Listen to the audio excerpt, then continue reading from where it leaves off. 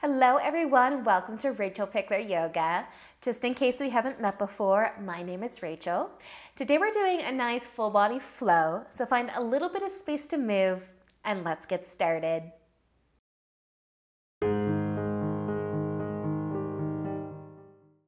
So let's begin today in just a nice comfy seat.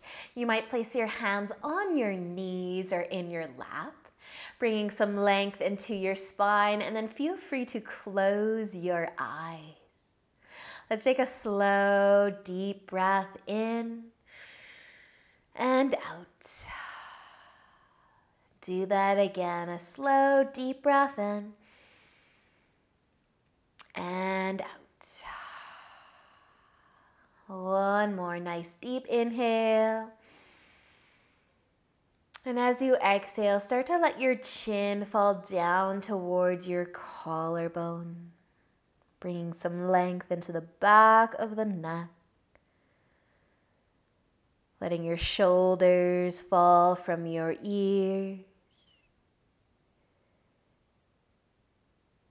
softening through your forehead as well as your jaw.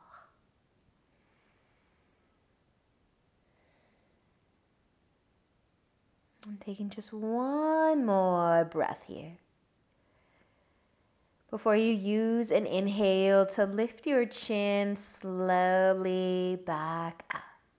And let's move our hands just to the ground beside us. And with a big inhale, start to reach your right arm out to the side and up above you. And maybe you'll lean over towards the left. Let a big inhale bring you back up through center. Rest your hands beside you.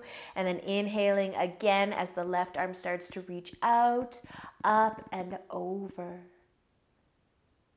Letting an inhale bring you back. Your hands could find your knees again. And if you want to take a little shoulder roll, take a shoulder roll. Your eyes are still closed, you can open them up and we'll move into tabletop onto our hands and knees. So you can spread your fingers out a little wider, maybe give your hips a nice little sway side to side. And then using a big inhale, start to drop your belly down as you lift your chest and maybe your chin too. With the exhale, slowly round your spine, squeeze your belly in, tuck your chin back to your collarbone. Inhale to drop your belly, arch your back, lift your chest.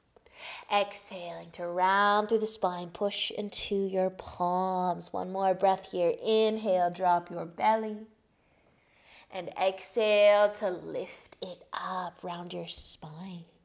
Let an inhale bring you back to a nice long flat spine and then tuck your toes and lift your knees into downward facing dog. Take a moment to regrip through the hands, spread the fingers wide again. Maybe take a nice little pedal of the feet. Lift and lower the heels, bend and straighten the knees, all the while pushing into the hands. Let your head get a little bit heavier. Send your hips nice and high. Maybe even a little sway in the hips. Let's take a nice, slow, deep breath in though and out. Then use an inhale to gaze forward and exhale as you walk your feet all the way to the top of your mat. As you inhale, lift halfway up, bringing length into the spine and exhale to fold forwards. Bend your knees. Inhale. Let's come all the way up to standing. Reach up. Exhale. Let your arms fall to your sides and roll your shoulders back and down. As you inhale, reach up.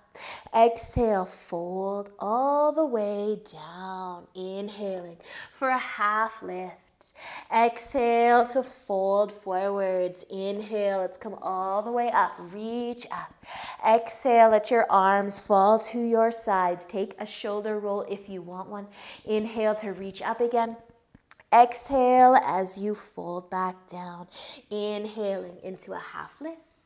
Exhale, fold forwards. Inhale all the way up to standing. One more time, reach up. Exhale, let your arms come to your side, shoulder roll if you want it. Inhale as you reach up. Exhale, fold back down. Inhale for just a half lift. As you exhale, fold. We're going to plant our hands, and this time our left foot is going to come back into a lunge. You can lower your knee or keep it lifted.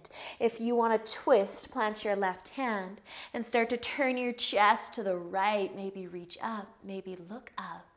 Take another inhale if you're twisting and let the exhale bring you back down. So we're going to move our front foot to the right side. If you want to move, uh, bring your uh, back knee down and then heel toe your foot to the side for your lizard legs, you can keep your knee down or you could lift it again. But option to twist from here, from our lizard. So if your left hand wants to move to the left side of your mat, you can start to turn the chest back towards the right right. Maybe you'll be reaching up and looking up again. Maybe your back knee is down, maybe it's lifted, waking up that leg. One more inhale here though. And then as you exhale, come back down. Bring your hands under your shoulders. Start to heel toe your front foot to the middle of your mat.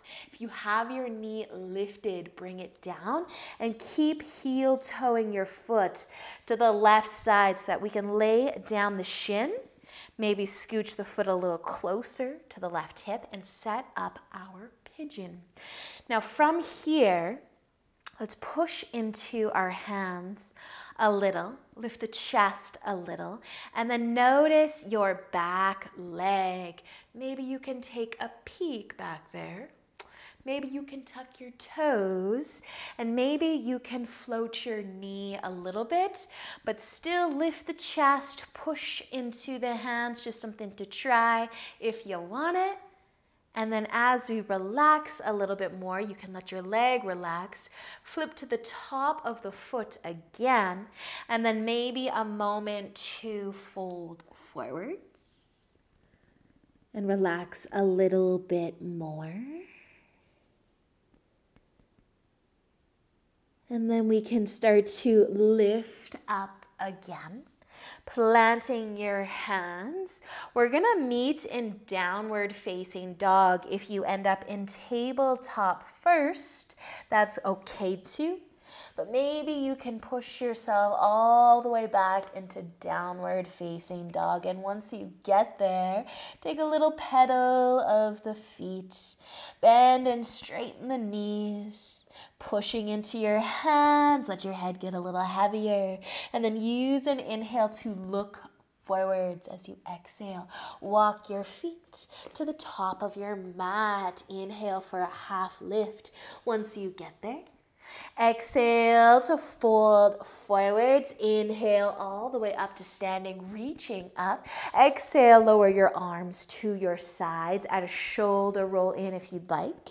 Inhale, reach up and exhale, folding back down. Inhale into a half lift. Exhale, fold forwards. Inhale all the way up to standing, reaching up. Exhale, lower your arms to your side, shoulder roll. Inhale to reach up. Exhale, fold forwards. Inhale, half lift. Exhale, fold back down. Inhale, all the way up to standing. One more time. Exhale, lower your arms down. Last shoulder roll if you want it. Inhale to reach up. Exhale as we fold back down. Inhale, half lift. Exhale, fold. Plant your hands this time. Take your right foot back. Set up your lunge.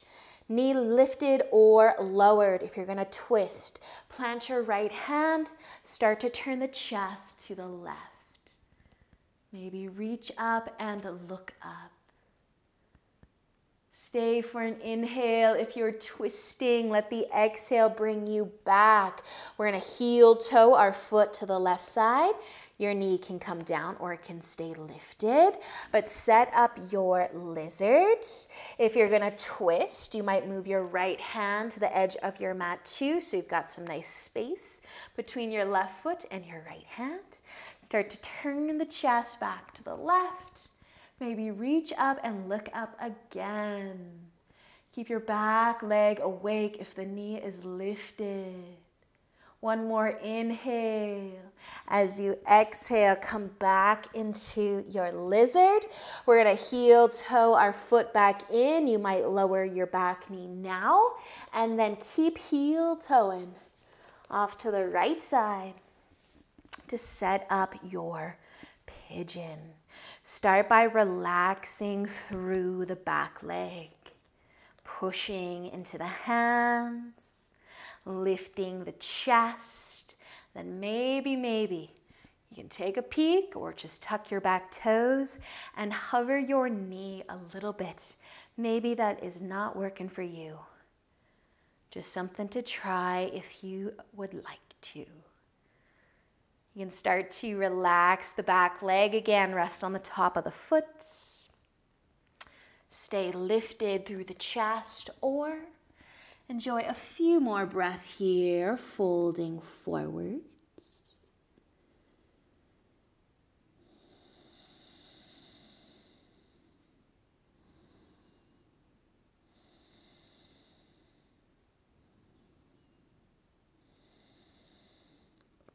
If you are folding, you can start to lift again, planting your hands meeting in downward facing dog, or if you're coming through tabletop, but you can start to make your way there. Maybe pedaling the feet a few times, bending straight in the knees, pushing into the hands. Maybe even sway your hips side to side as you push into the feet Feel your hamstrings, your calves. Let's stay for just another inhale. And as you exhale, you can bring your knees down and out wide. Rest on the top of your feet with your big toes coming together. Send your hips back and just take a moment in child's pose. Resting your forehead slowing down your breath.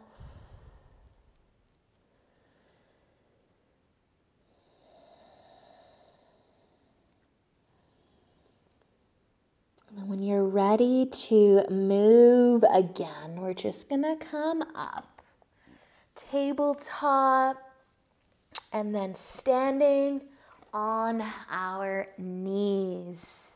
So you could rest on the tops of your feet. You could tuck your toes under wherever you feel more balanced and supported.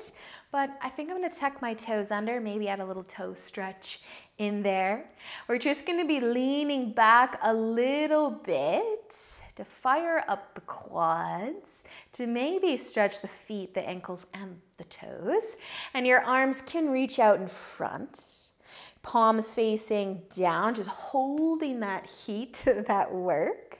Maybe you can turn your palms to face up. Maybe your pinky fingers can lightly touch. Maybe your palms can turn down again. And then up one more time. And then just start to lean forwards, relax, bring your hands down, untuck your toes so you're resting on the top of the feet. If you need a little shake of the ankles, a little tap of the toes, take it. Then we're gonna stay on our knees now and reach our arms forwards. Spreading your fingers wide, maybe your thumbs will lightly touch. Big reach forwards, looking forwards maybe a little bit here as you dip the chest down.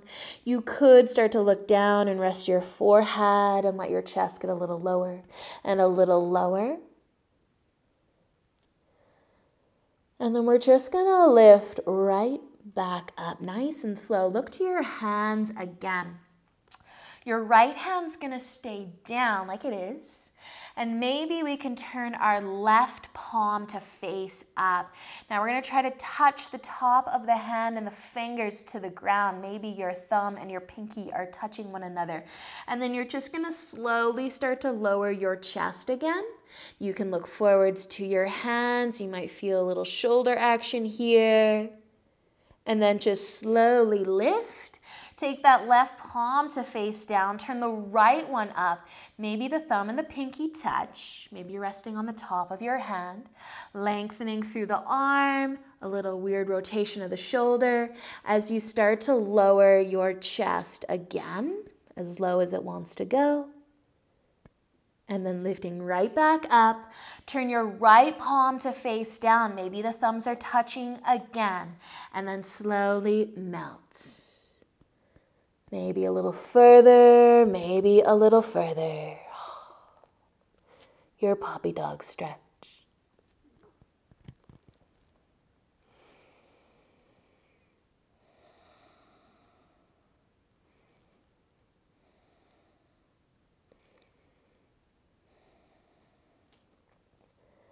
Take just one more breath here. And then letting an inhale lift you up. Bring your hands under your shoulders. You could come to standing on your knees or just sitting on your heels. But if you want to take the weight out of the arms, the shoulders, if you want to add a little shoulder roll, you can do that as well. You might even let your chin tuck down towards your collarbone. Close your eyes.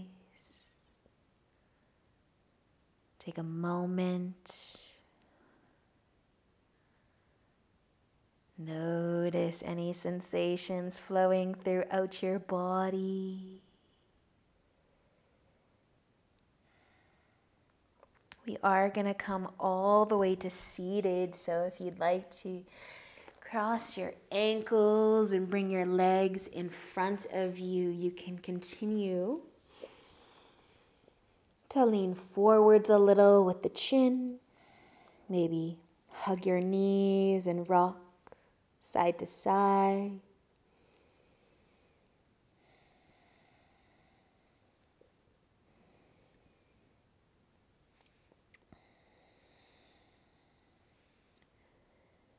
Then if we can come onto our backs from here, let's start to lay down. Your knees might come towards the chest. You might rock side to side from here. Giving your back a nice massage.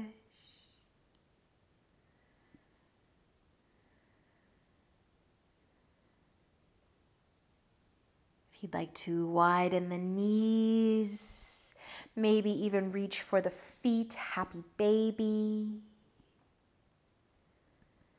Maybe continue to rock side to side.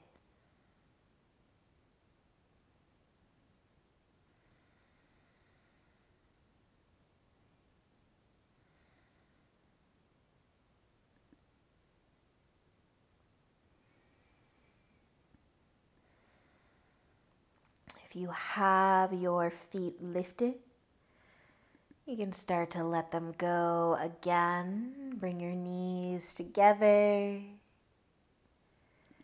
Eventually, letting your feet come down to the ground.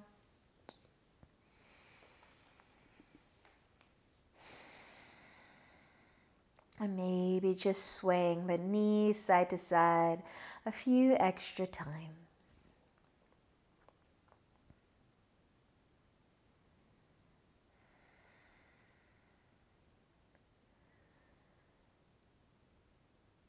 And you're ready to send your legs out long, your feet out wide.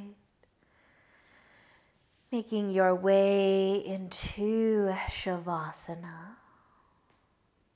Whatever that is going to look like for you today. however long you have time for to be here today. Thank you so much for joining me. I hope that you enjoy the rest of your day, though, and until next time, namaste.